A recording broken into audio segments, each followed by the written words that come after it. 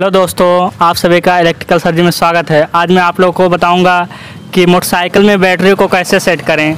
तो चलिए देखते हैं बाइक में मोट कैसे सेट किया जाता है।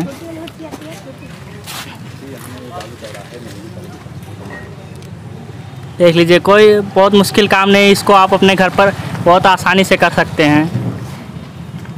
बॉक्स में बैटरी को रखना है, उसके बाद में नेट को होल्ड से टाइट कर देना है। और इसमें कुछ करना नहीं है।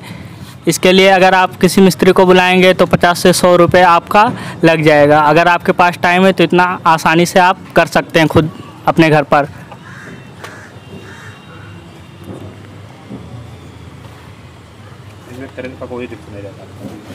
इसमें करंट का भी कोई रिस्क नहीं होता है क्योंकि ये एसी नहीं बनाता है करंट ये डीसी ही रहता है करंट इसमें जो रहता है।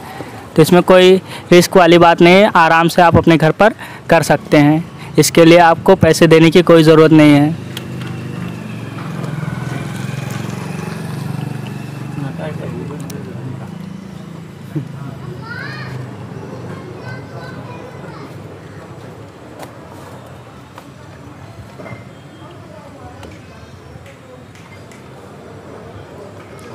तो संजय भाई इसमें प्लस माइनस का भी कोई लोचा होता है? ये इधर साइड वाला प्लस होता है उधर माइनस होता है। इस पर साफ़ साफ़ शो किया हुआ है बैटरी पे।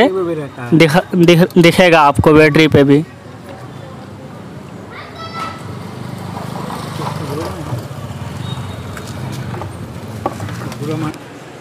वीडियो अगर अच्छा लगा हो अगर आपको इससे कुछ जानकारी मिली हो तो चैनल को ज़रूर सब्सक्राइब करें।